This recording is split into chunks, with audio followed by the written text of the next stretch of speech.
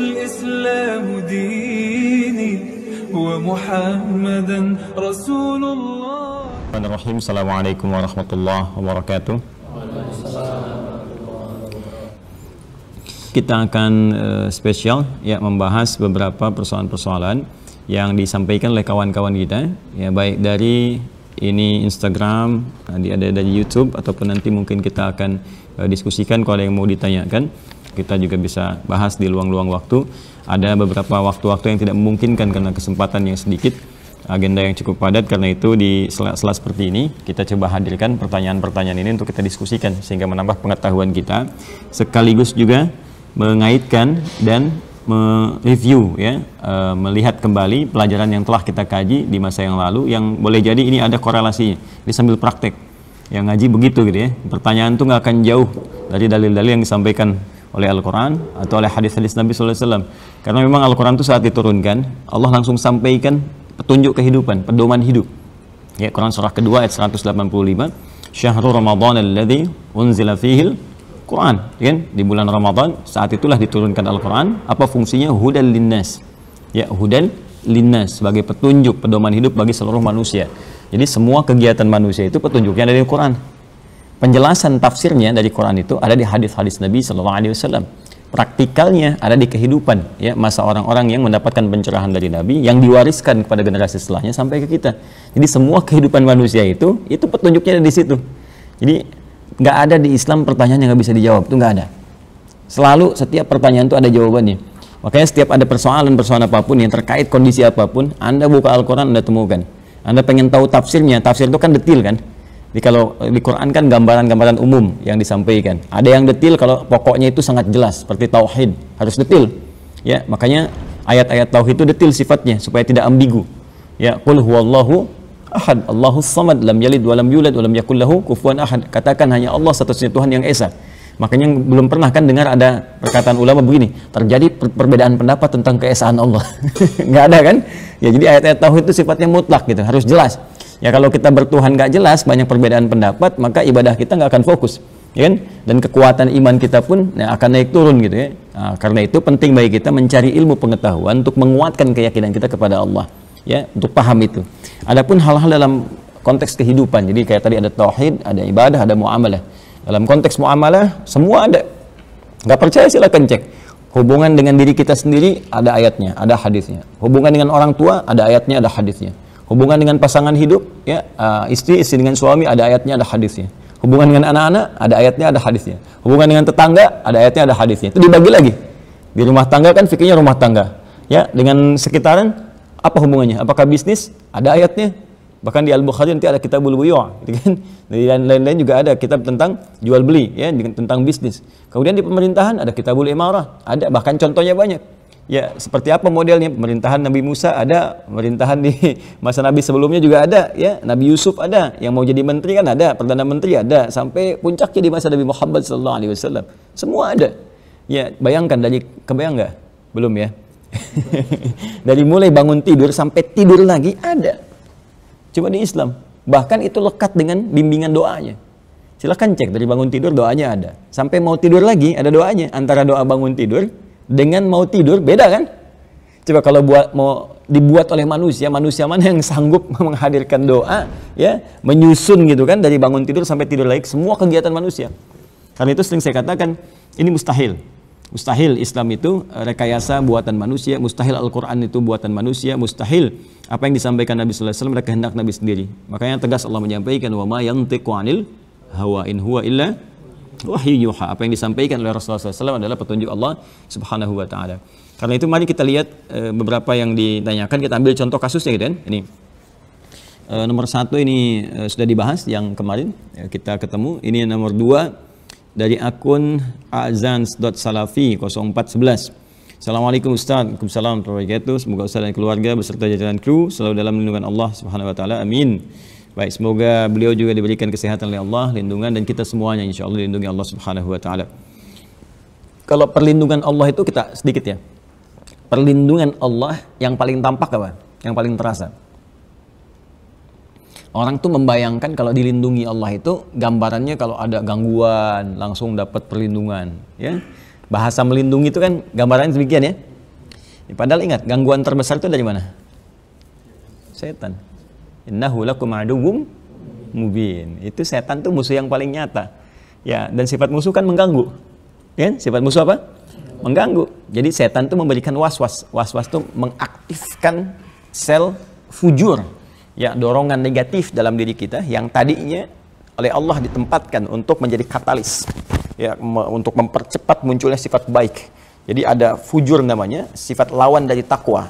Di Quran surah 91, ya Syams, ayat 7 sampai 10. Wa nafsin wa ma sawaha fa alhamaha fujuraha wa taqwa. Jadi kalau takwa itu puncak-puncak sifat baiknya jujur di sini ada ya, sabar gitu, rendah hati, yang tawadhu itu. Nah, ada lawannya saat bersamaan. Jujur lawannya dusta, kan? Rendah hati lawannya sombong, marah gitu kan? Ya, di sini sabar, di sini marah yang tidak terkontrol. Nah, yang dijadikan peran oleh setan itu dia mengangkat yang fujurnya. Yang tadinya yang sifat fujur ini sebetulnya untuk menjadi katalis yang takwa supaya muncul. Sebab kalau nggak ada marah, sabar nggak akan muncul. Coba dari mana taunya sabar? Ketika bertahan dalam kemarahan yang tidak terkontrol kan? Ya, coba kalau nggak ada angin, nggak ada hujan, nggak ada macam-macam, tiba-tiba istri anda mengatakan, atau anak anda mengatakan, atau teman anda mengatakan, sabar ya, sabar itu, ya kan? Ya anda akan respon kamu kenapa gitu? Ya? Jadi harus ada seperti itu, dibuat demikian, bukan ingin menciptakan orang-orang dengan karakter yang buruk, bukan. Asalnya menjadi katalis.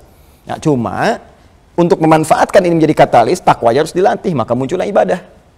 Karena itu ibadah itu didesain oleh Allah itu salah satunya untuk menguatkan sinyal takwa. Ya, karena itu ditemukan dalam Al-Quran, perbuatan-perbuatan baik dalam bentuk ibadah, itu kalau nggak diawali, diakhiri dengan takwa. Kita sholat misalnya, kan awalnya takwa dulu. Dzalikal kitabul la raiba fi hudal lil muttaqin. Siapa muttaqin orang takwa? Alladzina yu'minuna bil ghaib wa yuqimuna shalah. Jadi untuk mendapatkan takwa, kita sholat. Supaya sifat baik itu muncul. Makanya di antara fungsi sholat itu, Quran surah 29 ayat ke-45, Inna salata tanha lil fahsyai wal munkar. Ya, jadi kalau orang sholatnya bagus, ya dia bisa mencegah dari perbuatan keji dan kemungkar. Ya, puasa kita sekarang puasa nih. Tujuan puasa apa? Membangkitkan sinyal takwa.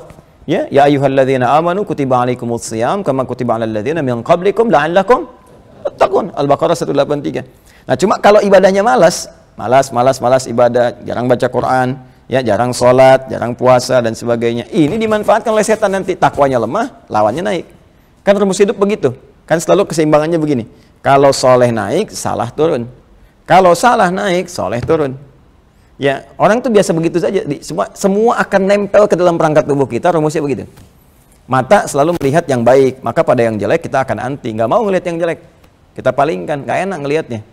Tapi kalau terbiasa melihat yang haram, yang jelek-jelek, yang halal, yang baik-baik, akan anti juga. Ya, nggak enak. Lihat ulama nggak enak, lihat Quran nggak enak, lihat orang ke masjid nggak enak, gitu kan? Lihat masjidnya juga kok tiba-tiba jadi marah, gitu kan? Padahal Muslim mungkin boleh jadi, tapi karena sering dipakai maksiat, jadi matanya nggak peka kepada kebaikan. Ya, telinga, lisan sampai ke ujung kaki demikian. Konsepsinya seperti itu. Nah, setan mengaktifkan itu supaya muncul ke permukaan. Ya, muncul digoda. Nah, ini adanya di nafas. Nafas adanya di kolbu. Kolbu adanya di sudur. Sodrun, ya, jamaknya sudur. Makanya di surat An-Nas, ya, alladhi waswisu fi sudurin nas. Nah, gangguan setan yang paling utama, dia akan mengganggu kan? Mengajak hamba, mengajak anak cucu Adam untuk berbuat maksiat. Ya, pokoknya bagaimana caranya menjauh dari Allah. Tugas setan itu cuma satu, bermaksiat. Ya, tugas setan bermaksiat supaya punya teman. Ya, supaya punya teman untuk membuktikan kesombongan dia di hadapan Allah Subhanahu wa taala bahwa dia bisa menaklukkan anak cucu Adam. Ya kan? Maka sebanyak mungkin bermaksiat, maksiat, maksiat, maksiat, maksiat, maksiat. Ya, kalau nggak dari diri kita, nanti dari luar kita. Bisa dari keluarga terdekat, kan? Nanti terjauh, semua pokoknya supaya maksiat saja. Nah, perlindungan terbesar Allah kepada kita itu menjaga diri kita dari perbuatan maksiat. Jadi kalau ada semoga Anda dilindungi oleh Allah Subhanahu wa taala, bukan perkara-perkara jahat yang muncul dari luar saja. Ya ada orang mau misalnya mohon maaf ya, eh, menodong, merampok, membegal dan sebagainya. Tentu itu masuk ya dalam kategori perlindungan Allah Subhanahu wa taala kepada kita diarahkan ke jalan yang aman, terjebak dari kemacetan yang bisa membuat kita misalnya sulit ya dan sebagainya. Itu perlindungan-perlindungan yang secara langsung kita rasakan, tapi ada yang orang nggak sadar. Dilindungi dari perbuatan maksiat adalah perlindungan dari Allah yang menghadirkan nikmat yang sangat besar. Ya, karena itu nggak mudah. Kalau anda eh, gangguan-gangguan fisikal itu kan di tempat tertentu, nggak di semua tempat. Tapi maksiat itu bisa dibawa bahkan ke tempat-tempat yang sunyi. Coba lihat, ya orang kan kalau maksiat itu Ya nggak harus ada pembegal, harus ada eh, apa namanya perampok dan sebagainya. Kadang-kadang ke kamar bisa maksiat sendiri. Lihat tayangan yang kotor kan maksiat, ya kan? Ah, di tempat kerja masuk ruangan tersendiri, nolnya ditambahin satu, ah, tanda tangannya dipalsukan macam-macam, maksiat kan? Allah melindungi seorang hamba untuk terjaga dalam perbuatan taat dan meninggalkan maksiat itu perlindungan Allah yang paling tinggi. Kalau ingin dilindungi Allah, maka caranya tadi tingkatkan takwa kepada Allah Subhanahu wa taala. Tingkatkan takwa. Karena takwa itu lawan dari sifat fujur. Fujur mainannya setan. Ya kan? Makanya nanti setan memberikan was-was. Kalau orang dekat dengan Allah, tingkatkan takwa, Allah kirimkan malaikat untuk menjaga dia. Ya, dan e, malaikat ini nanti tugaskan oleh Allah untuk merespon, menguatkan sinyal takwanya. Makanya malaikat membisikkan pada jiwa takwa, setan membisikkan pada jiwa fujur. Malaikat disebutkan 88 kali dalam Al-Quran, setan disebutkan 88 kali dalam Al-Quran. Ya, karena itu kalau ada orang kuat dorongan malaikatnya, maka ketika dia misalnya mendengar seruan kebaikan cepat, Allahu Akbar, Allahu Akbar, cepat. Semakin tinggi sebelum agan sudah berpikir, sudah siap-siap. Ya, maksiat itu jangankan dikerjakan, baru terpikir sudah takut dia, udah anti. Pernah antum kepikiran misalnya pas kotak infak lewat langsung disimpan masukin tas. Jadi kalau orang begini set, set antum nyiapin tas set masuk tas gitu kan. Pernah begitu? Enggak kan? Ya mau kepikiran aja enggak kan? Apalagi berbuat gitu. Ya nah itu itu perlindungan Allah yang paling tinggi. Izin ya kalau saya bahas uh, kadang ada banyak hal yang kita itu mendapat di kalimatnya tapi kita nggak merasakan nikmatnya gitu. Jadi kalau kita hadirkan nikmat Allah itu maka kita akan menjadi pribadi yang pandai bersyukur. Nah itu penting sekali Kadang-kadang orang itu selalu mengharapkan datangnya nikmat yang jauh, tapi tidak merasakan nikmat yang dekat. Sehingga ketika nikmat yang dekat itu hilang, baru terasa ya, betapa besar nikmat itu semua. Sehat itu kan nikmat yang paling dekat. Ketika sakit baru terasa. Ya Allah, nah, kamu kamu ke mana aja selama ini Joni? Kalimat itu ke mana gitu kan? Baru ya Allah tiba. Baik sehat, kasih napas. Begitu pengap kan baru kan? Ya, napas itu kan gratis. Coba tiap waktu napas itu gratis tuh. Ya, begitu napasnya ngos-ngosan baru kan? Nah jadi jadi itu yang penting kita hadirkan dalam kehidupan. Bismillah ya. Baik mengenai i'tikaf. Pertanyaan seperti i'tikaf. Apakah i'tikaf diharuskan di masjid? Ah, dan bagaimana cara untuk pekerja yang bekerja jam malam agar mendapatkan fadilah atau pahala malam Lailatul Qadar? Baik jazakumullah khair Ustaz mohon pencerahannya. Ada dua pertanyaan di sini.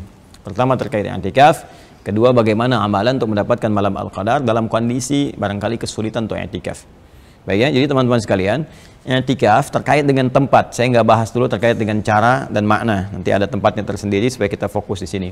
Tempat i'tikaf itu mutlak di masjid. Di masjid bahkan sebagian merinci.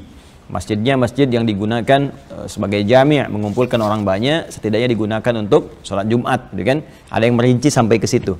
Ya, merinci sampai ke situ. Jadi, tapi yang disepakati oleh para ulama, kan, menyepakati bahwa tempat i'tikaf itu di mana? Di masjid. Ya, karena itu nanti di hadis Muslim saya di Al Bukhari juga nanti ada bab khusus tentang itikaf di sini ya. Uh, kalau saya tunjukkan misalnya nanti setelah di ada bab puasa itu uh, di halaman 290-an deh ya, sebelah kiri kalau saya tidak keliru. Nah ini, nah nanti ada kitab Fadlul Lailatul Qadar, kitab salat tarawih, Fadlul Lailatul Qadar, setelahnya itikaf. Ya, setelahnya itikaf. Jadi kita bisa temukan, tuh kita boleh itikaf betul. Ya, kita boleh itikaf. Jadi di sini ada bab spesifik teman-teman sekalian. Di apa namanya kitab ke-33, kita boleh i'tikaf. Jadi saking pentingnya i'tikaf ini sampai-sampai Al-Bukhari menghadirkan bab tersendiri ya, pembahasan tersendiri, kitab tersendiri. Di hadis Muslim juga ada yang tersendiri. Dan dari mana taunya itu di masjid? Dari perbuatan Nabi sallallahu alaihi wasallam. Ketika beliau beriktikaf, beliau lakukan di masjid, gitu kan? Dan ketika beriktikaf ini, beliau hanya memfokuskan dirinya untuk ibadah kepada Allah Subhanahu wa taala sampai-sampai hal-hal yang terkait dengan dunia itu ya ditepikan, ditanggalkan, ya sampai nyisir pun ada nanti dalam riwayat Sayyidah Aisyah menyisir rambut Nabi itu ketika e, Nabi akan dirapikan itu sampai e, kepalanya seperti diinikan lah, ya. Kan ini kalau kita perhatikan ini masjidnya misalnya, misal saja ya, ilustrasi ya, ini masjid di sini Nah, ini kan kamar Nabi ya. Ini Raudhah kamar Nabi. Nabi berintikaf itu di, di kebelakangkan begini kita gitu supaya bisa disisir. Ya, Anda bayangkan bagaimana ingin fokusnya ibadah sampai sebagian badannya ada di masjid, sebagian dari kepalanya disisirkan seperti ini. Ya. Nah, jadi uh, ini menunjukkan bahwa betapa pentingnya untuk beritikaf itu untuk membangun kedekatan dengan Allah dan tempatnya di mana? Di masjid. Ya, kalaulah kemudian itikaf itu bisa dilakukan di rumah, tentulah Nabi tidak harus ke masjid ya dan beliau akan mungkin berlama-lama di rumah. Dan ini menunjukkan kepada para sahabat pesan bahwa etikaf itu boleh dilakukan di rumah kalau Nabi tidak keluar tidak ke masjid. Tapi ketika Nabi ke masjid, menyontohkan ke masjid, kemudian juga perilaku semua kegiatan Nabi itu konsentrasinya di masjid, hanya hajat-hajat yang sifatnya darurat yang dijadikan kemudian boleh kita keluar dari lingkungan itu, ya, seperti misalnya mau mandi, ya buang hajat, itu kan, karena ada yang ke toilet dulu ya, e, boleh ini ke toilet dulu di sini misalnya, atau yang rumahnya dekat dengan masjid, ya penuh misalnya kan, nggak usah ditahan-tahan, ya jadi penyakit gitu kan, kemudian boleh singgah dulu tapi cepat lagi kembali, Ya, nah itu itu ada bagian-bagian tertentu yang menunjukkan bahwa betapa pentingnya i'tikaf dilakukan. Masjid, masjid itu rumah Allah. Baik ya? Karena itu i'tikaf e, asalnya dari kata akaf asalnya, ya. Akafa ditambah alif dan ta menjadi i'tikafa, sifatnya disebut dengan i'tikaf. Ya, infinitifnya dari kata akafa, sesuatu yang fokus, yang sulit untuk dipalingkan. Ya, orang yang fokus terhadap sesuatu sehingga sulit dipalingkan disebut akif. Ya, misalnya uh, ada orang tua namanya Cepi misalnya kan. Terus kita panggil Mas Cepi. Dia nggak nengok-nengok gini aja kan. Nah itu disebut Mas Cepi sedang akif ya. Wah akif. Ya makanya Nabi Ibrahim alaihissalam ketika beliau menyeru umatnya ya untuk bisa me, apa, me, merespon merespon dakwah beliau ya itu nggak bisa. Fokus ya pada berhala gitu kan. Fokus sampai beliau mengatakan mahati tamathilul lati antum laha akifun apa sih istimewanya berharap-berharap ini? Sampai kalian tuh aku seru nggak respon gitu kan? Ya aku kasih logika malah marah-marah sampai fokus di situ ya. Nah, sampai menjauhkan dia dari Allah Subhanahu wa taala. Maka kalau kita ingin menjadikan satu proses yang serius ya proses yang sungguh-sungguh untuk memalingkan fokus menjadikan diri kita terfokus kepada Allah hanya Allah saja dalam kehidupan sehingga yang lain tidak memberikan beban kepada kita ya. Itu tambah alif dan tak alif di depannya tak sebelum akhirnya. Jadi menjadi i'takafa kan? Ya. Takafa maka yang tadi akafa jadi i'takafa sifatnya disebut i'tikaf. Usaha yang serius dan sungguh-sungguh untuk membangun fokus hanya kepada Allah saja. Ya. Kepada Allah tuh maksudnya bukan nanti di masjid dan bukan begitu. Semua kegiatan kita itu berada dalam naungan ibadah kepada Allah makan kita niatkan ibadah. Makanya kalau makannya niatnya karena Allah nggak akan mencari makanan yang tidak Allah sukai. Bekerja karena Allah. Dapat dunia ya pasti dapat. Ya semua bekerja itu pasti dapat lah. Cuman bedanya nanti rezekinya halal atau haram berkah atau tidak. Ya kan? Ya, itu kan dalam fikih begitu. Halal atau haram berkah atau tidak. Boleh jadi halal bisa. Halal kan tidak melanggar ketentuan. Nggak mencuri nggak apa kan? Non muslim juga bisa mendapatkan itu. Ya tapi nanti berkah atau tidak? Ya berkah atau tidak? Berkah itu bertambah nilai kebaikan ada pahalanya. Atau cuma dunia saja ya kan? Nah, ada yang sifatnya halal haram dalam perkara fikih yang mutlak, makanan misalnya kan, ada yang haram, ada yang halal. Nanti rezeki yang berkah itu diarahkan pada kebaikan. Kalau kita kerjakan karena Allah, itu semua terjaga nanti. Pekerjaan baik ya, dan terarah, menjauh dari maksiat, rezekinya diberkahi, selalu tercukupi, bahkan lebih lebih lebih padahal gaji mungkin berapa? Pendapatan berapa, gitu kan? Banyak pendapatnya dibandingkan pendapatannya gitu kan. Cuma apa yang dia hasilkan dalam kehidupan itu berkahnya banyak. Sehingga nyaman saja hidupnya. Ya, nggak banyak beban gitu ya beban kehidupan ujian sudah di kampus ujian beban hidup lebih banyak gitu kan ujiannya. Jadi pas dosen bilang kita hari ini ujian. Maaf pak saya tidak ikut. Kenapa? Udah banyak ujian hidup. Jadi nah, yang yang kayak kayak gitu tuh eh, nggak ada nggak akan muncul. Apa pun itu. Ya nikmat gitu keadaan hidupnya. Nah, jadi itu butuh latihan. Latihannya ke mana? Ya ke pemilik kehidupan. Datanglah kita ke rumahnya datang ke masjid. Yang paling cepat begitu kan? Ya anda ingin bertemu dengan si fulan misalnya kan? Ya yang lebih cepat kan datangi ke tempatnya Ya kan? Sampaikan hajat Anda, ya, bangun komunikasi yang baik. Nah, kita ingin mendapatkan rahmat Allah, dapat kebaikan, Allah kasih jalan. Datang ke masjid, kenakan pakaian terbaik. Ya bani Adam khudhu zinatakum khudhu zinatakum 'inda kulli masjid. Ketika ada seruan dari masjid, panggilan dari masjid datang. Di antara seruan ke masjid itu melalui intikaf datang. Ya, kenakan penampilan terbaik kita, fokus dalam ibadah, ya, sehingga atur waktu dengan baik, kapan waktunya tidur, kapan waktunya ibadah. Tidur pun itu kalau diniatkan itikaf saat masuk itu masuk ibadah itu. Jangan main-main, tapi bukan tidur yang keberlangsungan sifatnya. ya, jadi habis subuh tidur nunggu buka gitu kan. Setiap waktu sholat baru bangun, baru bangun. Ngapain itikaf? nggak ngaji kamu, udah di mimpi. jadi nggak begitu sifatnya ya. Walaupun nanti ada ada yang, yang unik juga, tapi nggak harus semua sama begitu. Ada orang unik ya dipuji uh, alim, baik gitu kan. Dia tidur banyak, disoal orang lain. Begitu disoal, disoal lama membelanya. Orang itu tidurnya beda gitu kan Waktu ditanya kamu kenapa banyak tidur? Aku tuh meniatkan tidur supaya terhindar dari maksiat kepada Allah Subhanahu wa taala. Aku nggak mau maksiat. Ya, karena ketika aku bangun, kau khawatir mataku melihat yang salah. Telingaku mendengar yang salah, itu kan. Jadi daripada dipakai yang salah dengan tidur, lebih selamat katanya. nah, tapi kondisinya kan beda, dia pekerjaannya apa? Aktivitasnya apa? Kalau kita bisa memilih berjuang dengan pendengaran kita, penglihatan kita, lisan kita, kaki kita untuk berjuang mengalahkan nafsu kita, di situ ada pahala lagi.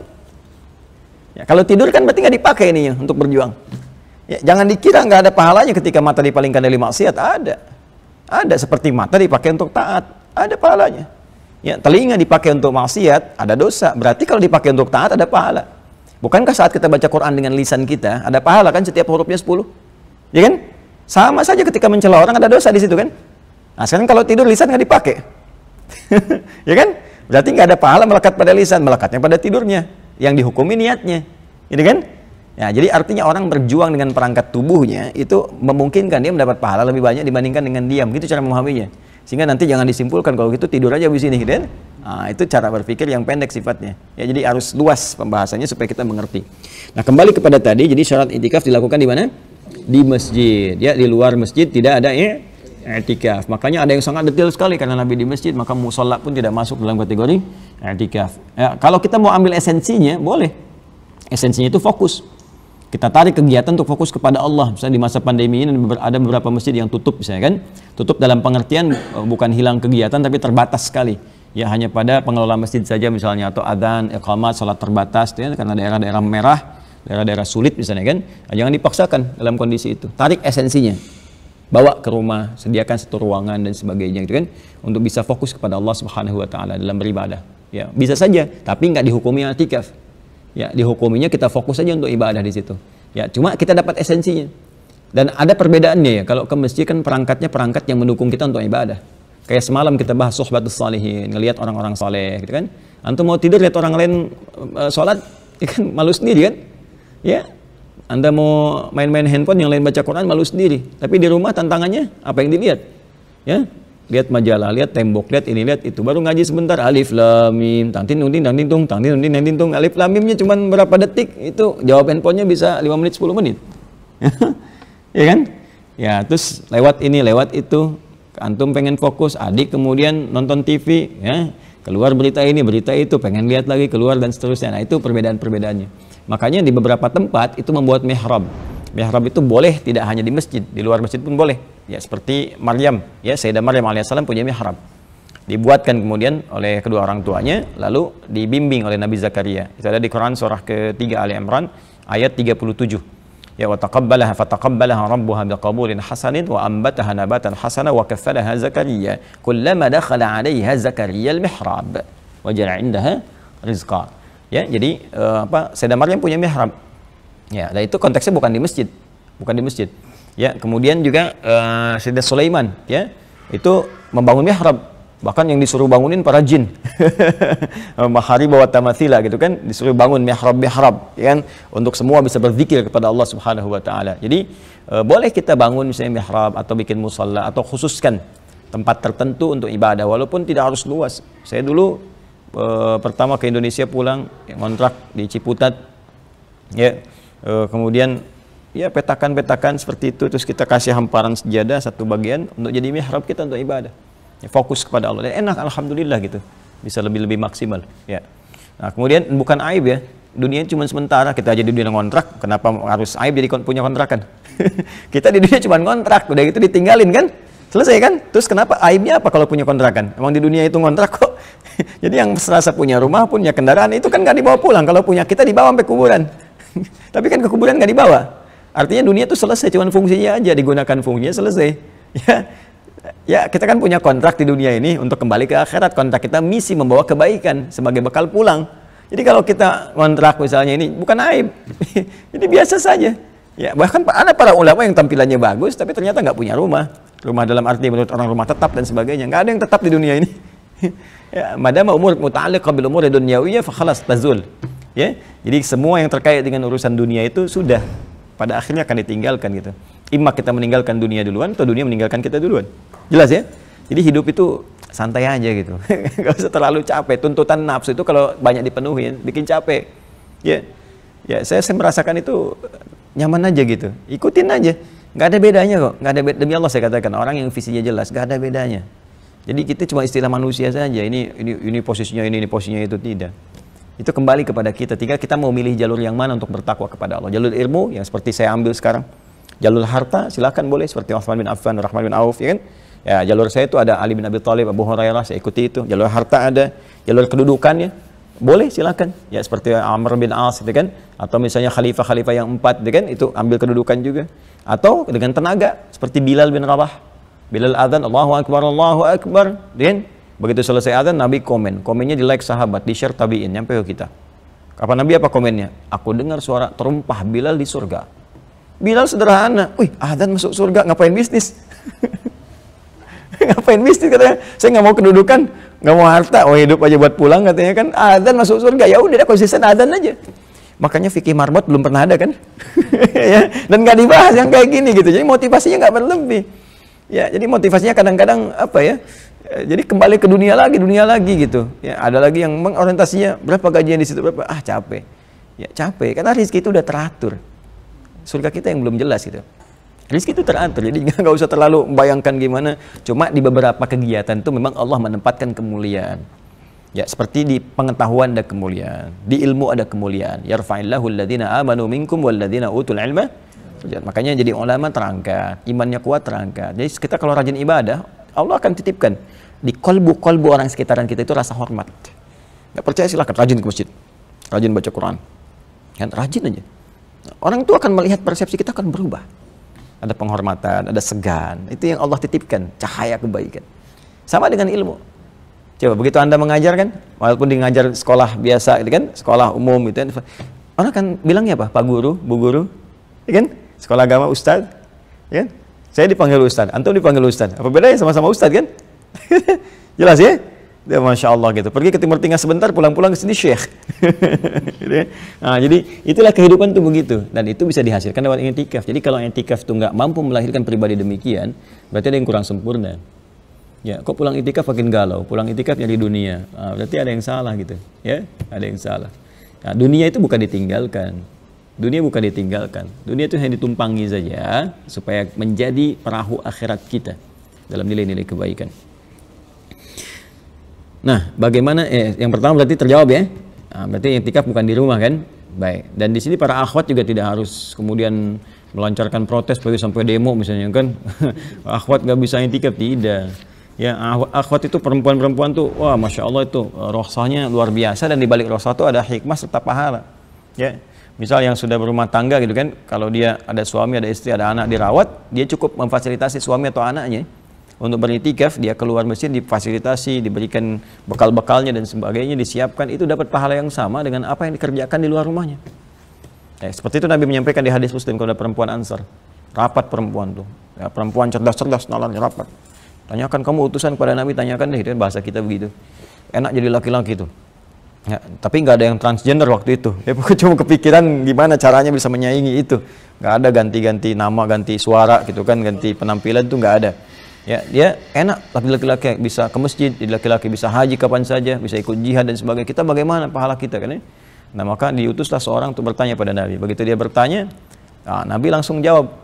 Pertanyaan pertama Nabi kepada para sahabat ya, adakah yang terbaik? Kalian bertanya seperti yang perempuan ini. Jadi maksudnya saya belum dengar pertanyaan terbaik seperti yang ini gitu ya kualitasnya bagus gitu ya maka apa yang terjadi kemudian maka kata Nabi apa yang dikerjakan para lelaki di luar rumah, maksudnya para suami-suami ya, di luar rumah, baik dia sholat, haji dan sebagainya, kalau istri-istrinya, perempuannya rela dengan itu semua, dia menyiapkan, dia mendukung, dia mensupport, maka perempuan itu mendapatkan pahala yang sama dengan yang dikerjakan laki-laki tanpa dikurangi sedikit pun.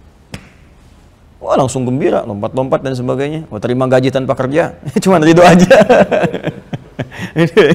Ridho tuh itu dianggap biasa, lihat di akhirat nanti, jangan dianggap biasa gitu. Ya, jangan dianggap biasa. Banyak sekali hal-hal yang baik yang bisa didapatkan. Sama aja. Ya di dalam rumah kan nggak ada yang protes, nggak ada yang pukul-pukul, tok tok tok tok tok tok bikin apa? Ya, nggak ada. Semua paham. Jadi kalau dengan ilmu itu semua mudah. Nggak ada yang berat gitu. Ya sama pada akhwat nggak bisa ke masjid di rumah ibadah sama dengan laki-laki di masjid. Sama. Nah kalau ada tempatnya misalnya tempatnya khusus, nggak terganggu, nggak ada fitnah, boleh silakan ke masjid. Tapi kalau nggak ada demikian, apalagi situasi begini, nggak usah dipaksakan. Ya, dengan ilmu itu jadi mudah. Dengan ilmu nggak ada protes, nggak ada bikin status, nggak ada macam-macam, nggak ada berpikir yang berlebihan sampai bikin aliran Islam liberal, Islam ini, Islam itu untuk nyari nyari keinginan sendiri gitu. Ya, paham ya? Nah, jadi itu poinnya. Bagaimana mendapatkan pahala malam Al-Qadar? Ya, malam Al-Qadar Kalau sekiranya tidak bisa i'tikaf, malam Al-Qadar itu nggak ada kaitan dengan i'tikaf. Ingat, nggak ada kaitan langsung dengan i'tikaf. I'tikaf itu hanya perantara untuk mendekatkan diri kepada Allah supaya kita bisa konsentrasi ibadah. Tapi setiap yang i'tikaf belum tentu dapat fadilah Lailatul Qadar. Kalau malamnya nggak ibadah. Jadi malam Al-Qadar itu Lailatul Qadar hanya terkait dengan ibadah yang dilangsungkan di malam-malam Ramadan. Satu di antara sekian malam itu ada bonus yang diberikan oleh Allah berupa apa? Berupa pahala yang berlipat lebih daripada seribu bulan. Jadi kisahnya begini. Kisah tentang turunnya Quran surah 97. Al-Qadar. Inna anzalnahu fi Lailatul Qadar. Wa ma adraka ma Lailatul Qadar. Lailatul Qadar khairum min alfishar. Demikian seterusnya ayat. Jadi begini, satu kali Nabi diberikan gambaran oleh Allah Subhanahu wa taala tentang bagaimana kehidupan umat di masa sebelumnya. Lalu Nabi Nuh sekian ratus tahun, gitu kan? Nabi selanjutnya sekian ratus tahun, ada yang seribu tahun lebih dan sebagainya. Nabi berpikir, wah berarti ibadahnya banyak dong. Bayangin ribuan tahun, kalau mereka sholat, sholatnya ribuan tahun. Terus pas dipresentasikan umurnya umat Nabi cuma sedikit gitu. Ya, eh, antara sampai ke 60, 70, wa qalilu mayazidu an dan sedikit yang melampaui itu. Jadi di atas 100 itu sedikit. Umatnya Nabi itu sampai ratusan ribuan tahun. Ya kan? Sebelum terus terus jadi semakin mendekat ke kiamat semakin mengecil semakin mengecil termasuk pengecilan fisik. Ya, makanya semakin kecil semakin kecil semakin kecil sampai mau kiamat. Tapi jangan disimpulkan kalau ada orang semakin kecil itu kiamat besok gitu ya kayak gitu juga. Tidak ya. Cara berpikirnya tidak demikian. Jadi nanti ada keseimbangan. Ada keseimbangan. Nanti ketika meninggal dunia, kemudian kiamat terjadi ya, eh, kembali kepada Allah, nanti akan dibangkitkan semuanya dalam keadaan semua rata ya, usia bahkan digambarkan dalam hadis itu tingginya sekian hasta sekian hasta kalau dikalkulasi laki-laki sekitar 27 meter, ya perempuan 17 meter. Nggak usah dibayangin sekarang. Ya, karena nanti ketika kembali kepada Allah semua rata, semua nggak ada yang tua lagi, nggak ada yang kecil, semua di, di, dibangkitkan oleh dalam keadaan yang sangat mulia. Tapi nanti ada bayi-bayi yang protes. Ya, wa idzal mau'udatu su'ilat bi ayyi dzambil kutilas. Nah, itu pembahasan yang lain nanti ya.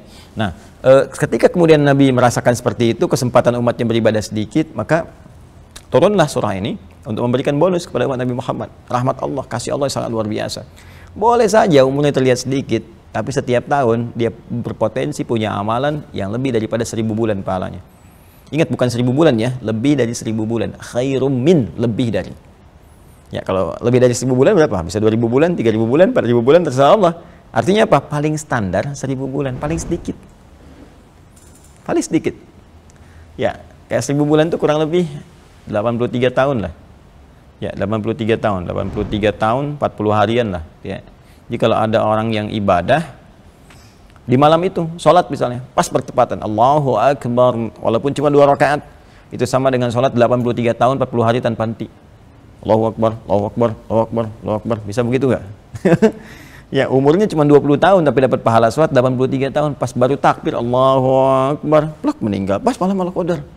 Allahu Akbar. Udah dia tobat gitu kan. Terus dosa diampuni. Dosanya nol dapat pahala 83 tahun. Luar biasa kan. Orang hidup sampai 950 tahun, 1000 tahun. 1000 tahun dosanya 1000 tahun juga kan di bawah dalam hidupnya kan. Terbawa kan. Ya, siapa yang nggak berdosa dalam sehari? Nah sekarang pertanyaannya ada nggak jaminan amalnya? Sudah sebanding aja. Mau hidup 100 tahun, 200 tahun sebanding aja. Ya, apa yang sebanding itu? Ya, dia dalam sehari berbuat salah juga, berbuat baik juga. Cuma rahmat Allah menjadikan kebaikan 10 kali lipat dari kejelekan. Ya, supaya rahmat Allah turun. Allah tuh kurang rahmat apa lagi tuh? Kalau kita mengerti tentang fikih ini, maka kita akan terus katakan fabi ayyi ala rabbikum atukadziban. Karena mengerjakan kebaikan 10, salah satu. Nutupin kan? Jadi rahmat Allah itu lebih dahsyat dibandingkan dengan hukumannya, dengan amarahnya. Ya, tapi kalau orang nggak dapat rahmat Allah, ya itu karena kekurangan dirinya kekurangan yang dimaksudkan ya keterlaluan gitu. Kalau udah tawarkan begitu, gak dia dapatin juga, gak berusaha juga. Nah ini malam Al-Qadar ini spesial untuk menyusul umat-umat sebelumnya, diberikan keutamaan, diberikan kebaikan. Karena memang umat Nabi Muhammad ini spesial. Umat dulu beriman, wajar. Nabinya ada. Lihat nabinya langsung. Ya, tapi mereka masih ingkar juga. Kebayang gak umatnya Nabi Musa? Itu Musanya ada, tongkatnya ada, dibelahnya kelihatan, Fir'aun ditenggelamkan, dilihat oleh mata kepalanya sendiri. Masih kufur juga. Gitu. terus ikut tuh ikut Nabi Musa tuh. Ya diberi anugerah oleh Allah. Masuklah ke kota ini. Ya emang ada gangguan sedikit tapi dengan masuk aja kalian nanti akan berhasil.